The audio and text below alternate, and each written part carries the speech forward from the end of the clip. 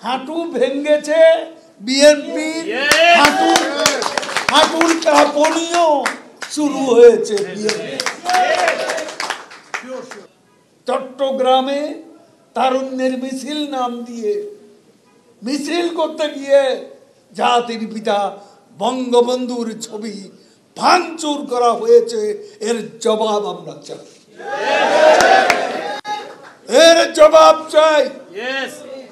যারা বিদেশ থেকে আজকে ডেকে ডেকে কথা বলছেন, বৈঠক করছেন, তাদের কাছেও জবাব চাই। এই ঘটনার পর তারা কি ব্যবস্থা এটা কি সুষ্ঠু নির্বাচনের অন্তরা নয়? এই অন্তরায় কারা সৃষ্টি করছে? বিএনপি এবং তার দোসররা। আর যাদেরকে এই জন্য অ্যারেস্ট করা হয়, তখন বলবে, মানবাধিকার লঙ্ঘন হচ্ছে বঙ্গবন্ধুর ছবি ভাঙচুর করবে, গ্রেপ্তার হলে কি হলো গ্রেপ্তার হলে মানবাধিকার লঙ্ঘন হচ্ছে, বিনা বিচারে আটক। এইসব অভিযোগের অন্ত নেই। এইসব অভিযোগ করেছে।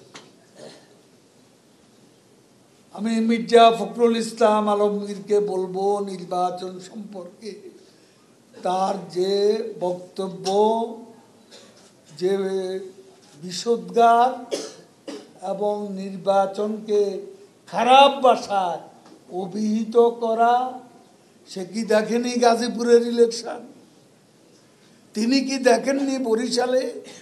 তিনি কি দেখেননি সাম্প্রতিক ইলেকশন খুলনা, কক্সবাজারে?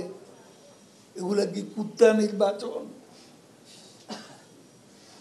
সুষ্ঠু নির্বাচনকে বিএনপি বলে কুত্তা নির্বাচন।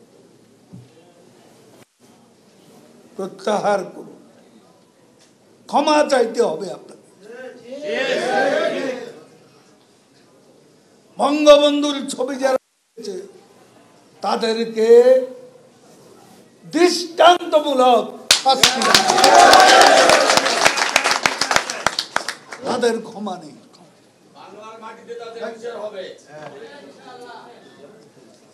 যাক। ফখরুল বলে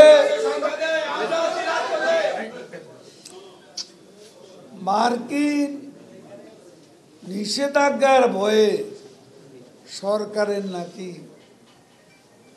হাঁটুর কাঁপুনি শুরু হয়েছে আজকে জাফরুল্লাহ সাহেব বেঁচে থাকলে কথাটা বলতে আরও প্রমাণসহ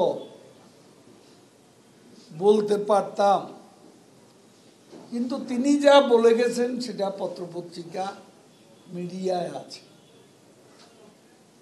প্রকাশিত হয়েছে। ডাক্তার জাফরুল্লাহ তাদের থিঙ্ক ট্যাঙ্কের একজন। বিএনপির আন্দোলনে উপর্যুপরি ব্যর্থতার কারণে ডাক্তার জাফুল্লাহ বলেছিলেন বিএনপি একটা হাঁটু ভাঙ্গা দল আমাদের হাঁটু ভাঙেনি। হাঁটু ভেঙ্গেছে বিএনপি হাঁটু, হাঁটুর কাঁপনিও শুরু হয়েছে নির্বাচন করলে হেরে যাবে। এই ভয়ে হাঁটুর কাঁপন শুরু হয়ে গেছে